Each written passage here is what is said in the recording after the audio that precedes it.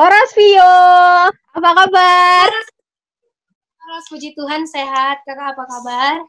Sehat juga dari Toba. Oh ya, lagi sibuk Yes, apa nih sekarang, Vio? Aku lagi sibuk bikin single sih, Kak. Oh. Tapi karena pandemi ini Heeh. masih ada terbengkalai ya sedikit lagi gitu. Jadi Bet- belum bisa rilis. Belum bisa rilis, sabar aja dulu ya. BTW kamu pernah kepikiran gak sih bakal jadi orang seterkenal sekarang gitu? Waduh. Kenal kan lo, Kak. ya setidaknya juara satu gitu, nasional. Kepikiran sih enggak sih, Kak. Tapi tetap usaha gitu, ikutan kontes gitu ya. Iya, tapi pengen gitu. Hmm, ini selain kemarin The Voice, kamu pernah ikut kompetisi apa aja tuh untuk ajang nyanyi? Eh, tingkat nasional atau gimana, Kak? Bisa nasional, bisa regional juga, tingkat sumu- sumut atau apa? Oh, kalau di tingkat nasional aku pernah ikut Rising Star, Ya. Pernah ikut Idol, Idol yang pertama, terus oh X Factor yang pertama, Hmm. terus aku coba Idol, Hmm. terus aku coba Rising Star, terus The Voice tahun lalu dan yang ini sekarang, yang Ya. sebelum ini. Bisa juara satu ya. Selamat untuk itu. Dan kita mau tanya, kira-kira udah berapa tahun gitu kamu ninggalin Toba dan apa sih yang paling kamu rindukan dari Toba ini sendiri? Kenapa kak? Kira-kira kamu udah berapa lama gitu ninggalin Toba? Istilahnya kan merantau dan ikutan kontes. Dan apa sih yang paling kamu rindukan dari Toba ini, Vio? Hmm, makanannya kali ya kak. Iya makanannya. Jangan bilang mie goma Mak Reni. Ada yang lain nggak? Mie goreng Sukaria, uh sedap kali. Sedap kali. Dulu tempat nongkrong kamu di mana? Siapa tahu ada yang sama sama kamu. Kalau aku suka ke danau loh kak. No. Ngapain? Bukan Iya, teriak-teriak kan? Iya itu juga sekalian. Sekali kan. Pokoknya kalau misalnya lagi nggak mood atau apa, paling enak ke danau. Parah. Iya. Sekarang pasti rindu ya ke danau. Tapi belum bisa, belum bisa pulang. Kak ini aku lagi di ini loh, di di Toba. Oh iya, Iya. lagi di Toba. Mm-mm. Pulang kapan? Kemarin, kemarin aku pulang kan kak. Mm. Rencananya aku mau di sini seminggu. Iya. kan eh ternyata kan ini apa namanya transportasi ditutup kan Iya, penerbangan nggak bisa sama sekali.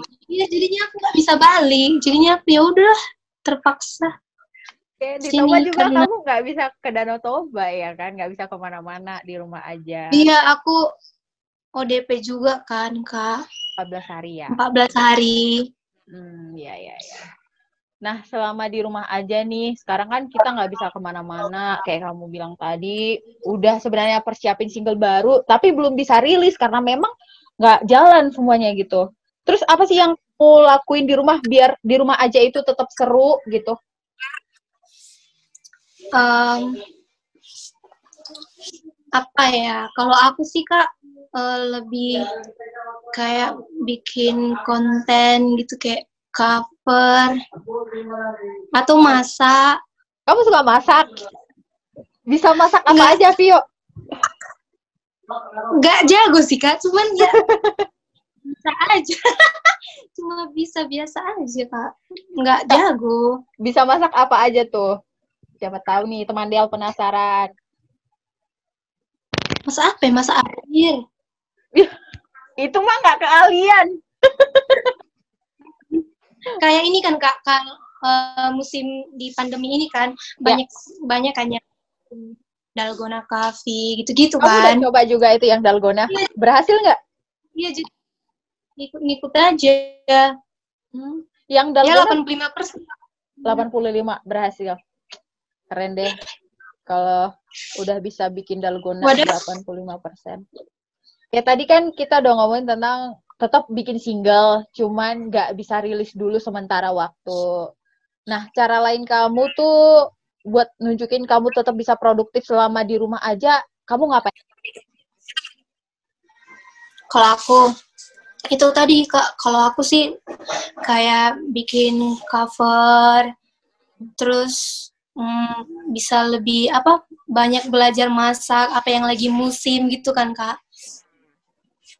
Terus lebih banyak waktu gitu kayak apa ya aku kan di sini sama adik juga kan kak. Ya. Ya lumayan waktunya lebih banyak bareng gitu btw kamu di Toba tinggal di mana Vio siapa tahu nih ada yang mau main kebetulan tahu kamu lagi di Toba oh aku di ini kak di Pesanggerahan di Napi Tupulu Bagasan Napi Tupulu Bagasan oke okay. ya yeah. Nah, kita mau tahu dong Vio, apa sih? Kamu kan tadi udah kasih tahu kita juga di rumah itu kita bisa tetap produktif. Apa sih pesan kamu untuk Mandel yang lagi di rumah aja supaya tetap produktif kayak yang kamu lakukan tadi beberapa hal? Kalau dari aku sih, uh, apa namanya? Uh, jangan terlalu membiarkan diri kayak rebahan gitu ya kak karena kayak aku sehari dua hari pandemi ini ya kayak rebahan makan rebahan gitu-gitu kan pesanku sih jangan sampai pandemi ini jadi merubah gitu kayak jadi malas gitu kan kak? Ya. cari sesuatu yang bisa hmm, apa keluar dari zona aman kita gitu kayak mencoba hal yang baru. Misalnya kayak eh, nggak pernah masak ini jadi masak ini. Nggak pernah coba bikin konten apa gitu yang yang bisa bermutu gitu bermanfaat gitu ya. Bermanfaat gitu. Pokoknya bisa uh, di luar kemampuan kita biasanya gitu. Oke deh. Tadi kamu cerita kalau ya? Karena lebih banyak waktunya untuk mencari tahu kan kak. Eh ternyata aku bisa juga ya di sini. Aku ternyata bisa juga ya di sini gitu. Kayak tadi praktek dalgona coffee itu ya. Itu ternyata bisa 85 persen. Tingkat hmm. keberhasilannya kayak ini kan kak aku kan kalau aku nih. Ya. uh, aku biasanya kan nggak pernah kayak coba nari-nari gitu kan. Terus aku karena kebanyakan lihat postingan-postingan orang gitu kan kak. Iya. Lihat orang nari-nari ya udah aku coba. Eh ternyata bisa ya aku bisa, bisa ya guys iya. Tapi Jadi, jangan ya jangan dipraktek enggak enggak enggak enggak enggak bakal diminta kok untuk show sekarang ya gitu maksudnya Iya sih, teman juga banyak yang cerita selama di rumah aja banyak gitu bakat-bakat terpendam yang ternyata aku bakat ya di sini gitu. Iya, Iya benar kak, betul kali itu. Aku bukannya tiba-tiba ide-ide iya. gitu kayak bukannya nakut-nakutin yo infonya kan penerbangan itu bakal ditutup sampai satu bulan Juni lah aku, aku lupa ingat itu tanggal berapa jadi kalau misalkan sampai Juni kamu harus stay di Toba gimana tuh? Iya aku itu memang sih kak apa ya pergumulan sih tadinya. Ya tadinya itu ih tadinya tuh pergumulan kali lah sama aku gitu. Ih gimana ya ini? Ih gimana ya? Nanti singleku gimana ya? Gitu-gitu kan kak. Tapi makin ke sini ya udahlah mau gimana? Menjadi syukurin aja gitu kak. Berarti karena kita ketemu orang tua kita juga ketemu orang tuaku juga menurutku itu rezeki juga gitu loh kak uh. kayak ya udahlah jalanin aja mungkin udah rencana Tuhan gitu Oke, berarti sabar-sabar lah ya. Sampai nanti bulan Juni baru bisa balik ke Jakarta nyanyi lagi di Tapi sana. Tapi berharap, semoga secepatnya pandemi ini segera berakhir. Uh.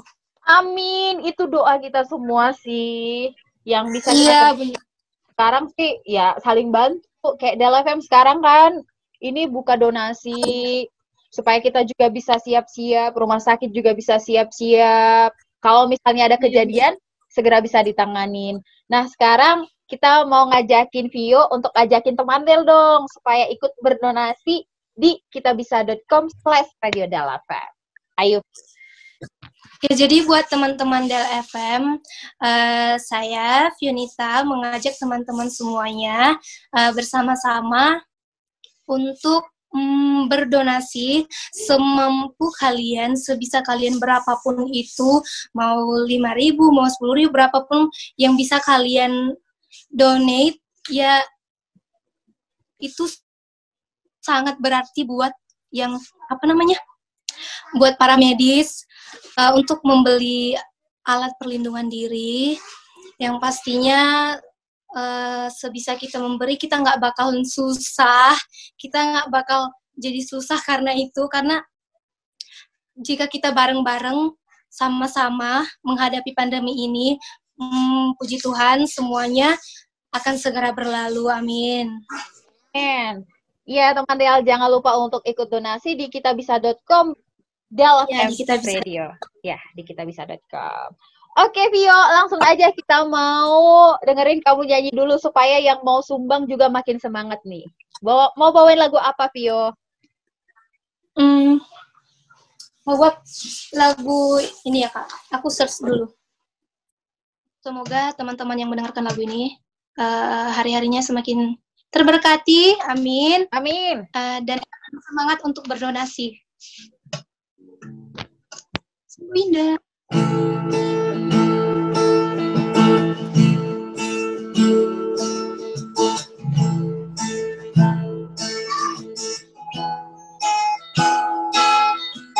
Ke manakah aku dapat pergi? Menjauhi rohmu yang suci. Kau sahabat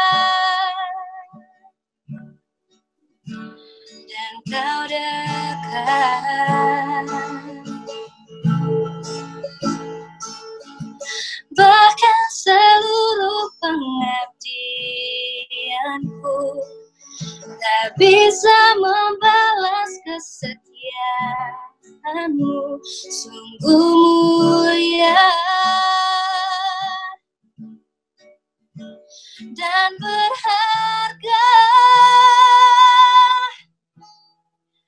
Sungguh besar pengorbananmu bagiku. Terlalu dalam untuk dimengerti. Sungguh besar. Oh, Sungguh indah yang kau pikirkan tentangku tak terselami bagiku. Oh sungguh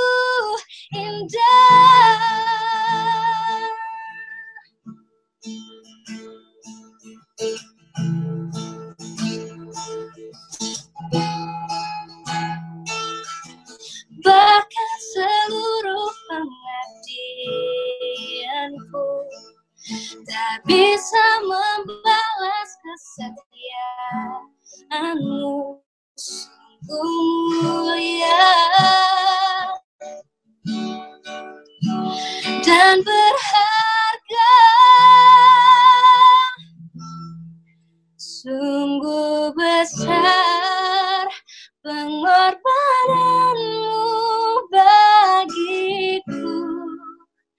Terlalu dalam untuk dimengerti. Oh, sungguh besar. Oh, sungguh indah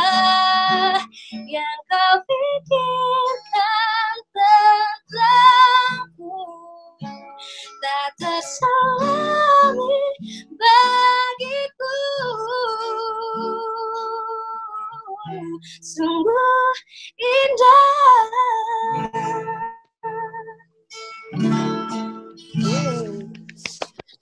Nah, sebelum ke lagu kedua nih, Vio, kita sebagai anak muda Toba, untuk kamu yang mungkin udah ke mana-mana gitu, udah istilahnya anak rantau dari Toba, menurut kamu apa sih yang perlu kita perhatikan dari Toba ini sendiri gitu? Selain untuk pandemi tadi. Kalau aku sih dari sisi ke atau kebersihan juga boleh atau apa? Kayak kayak dulu ya, kalau dulu kan Kak banyak itu kayak event eh, event-event yang bisa membangun mm-hmm. uh, apa namanya? pariwisata bakat. ataupun bakat ya? Iya, bakat. Ya, itu. Hmm. Kayaknya menurutku ya pariwisata sekarang ini menurun. Menurutku sih banyak kan ini apa namanya? Uh, kayak lomba gitu di luar kota gitu kan kak. Kalau dari pengalamanku ya kalau dari pengalamanku aku dari Toba sa Toba Toba ya kak sekarang? Ya udah Toba. Kalau pengalamanku aku dari Toba nih membawa nama Toba. Kurang diperhatikan misalnya gitu. Oh dukungan gitu ya? Iya kurang mendukung di bidang pariwisata gitu ya kak. Kayak ada Uh, kalau aku sekarang didukung sih kayak mana ya bilang dulu ya pariwisatanya menurutku menurun kayak kurang event gitu kan kak. Jadi anak-anak sekarang itu kurang membangun talenta bakat yang dia punya gitu. Kayak mana dia menampilkannya kalau nggak dari daerah dulu kan kak. Fasilitasi untuk itu kurang lebih begitu ya Vio untuk bakat-bakat iya. yang spektakuler ternyata dari Toba juga bisa loh juara satu di kompetisi nyanyi tingkat nasional gitu. Iya karena karena banyak sekali loh kak kayak masuk DM DM gitu kan kak ya. ke aku gitu kan. Hmm. Ternyata banyak uh, anak-anak Toba yang berbakat gitu tapi kurang di Diangkat post gitu, gitu ya. Iya. Iya gitu. Menurutku udah lebih baik sih sekarang. Oke. Okay. Dan ini sih kak kurang kurang perhatian kebersihan kebersihan ya kurang diperhatikan iya kebersihan okay. kurang kesadaran masyarakat sih sebenarnya kak Oke, okay. nah ini nih teman Del pandangan dari anak muda Toba. Semoga kita bisa sama-sama gitu ya kan. Kalau tadi misalnya kekurangan di bidang kebersihan, kita boleh sama-sama menjaga Toba kita lebih baik. Itu kalau menurut Vio. Lagu kedua dari Vio, Pikiri. Alright, lagu ini lagu Iya, lagu terakhir. Oke, okay, teman-teman Del, ini lagu kedua dari aku. Semoga kalian semakin bersemangat dan makin niat untuk berdonate. Kutunggu satu dua tiga. Oke, okay, mulai. Pikirin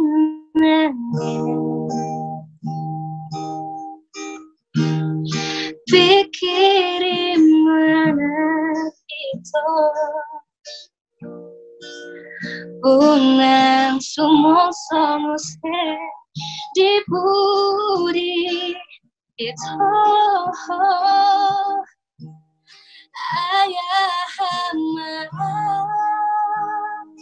ito isemahal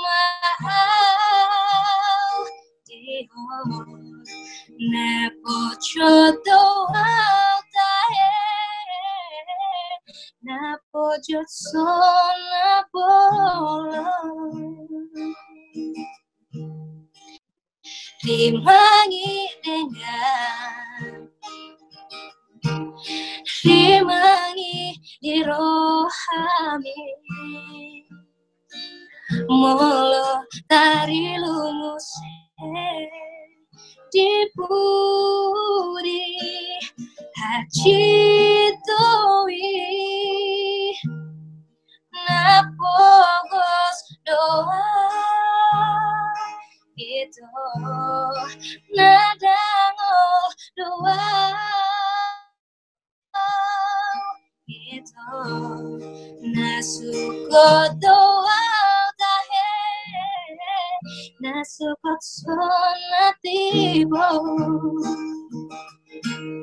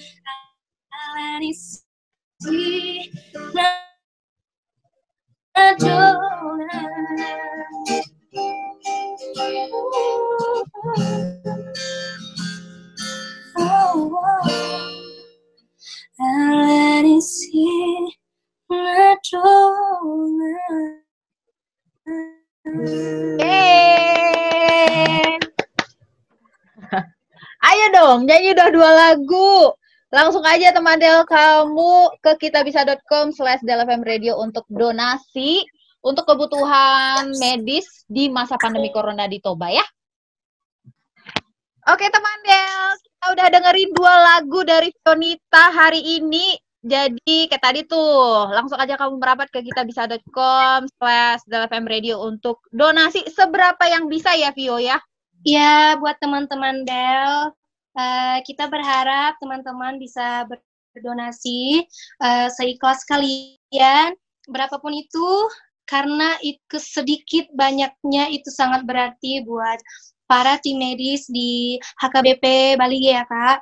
Iya, di Rumah Sakit Umum HK, HKBP Bali. Tim medis garda terdepan penanganan COVID-19. Hmm, pastinya kita tunggu dari teman-teman semuanya. Kita tunggu ya teman-teman. Terima kasih. Terima kasih. Terima kasih juga untuk Vio. Hari ini udah berpartisipasi ya. Konser online Radio Del FM. Semoga sehat terus. Dan semoga COVID-19 segera berlalu supaya kamu segera Amin. bisa pulang ke Jakarta. jangan di jangan diisolasi lagi di Toba. Oke, okay. terima kasih. Amin. Semangat Kak. Semangat juga untuk Vio. Semangat Makasih Kak. Bye bye.